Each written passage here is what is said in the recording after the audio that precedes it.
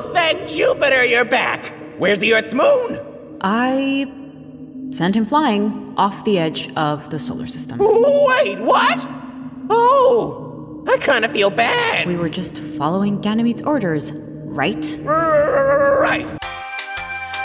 Ugh. Can someone find a magician so Astro Dude stops complaining? I am down, if you don't mind. Holy guck! Ah, you all have grown up so much after this experience. I'm so proud of all of Uh, I'm sorry, Mr. Sun, but can we skip this part and go back to our orbits? Don't interrupt me! Now, where was I?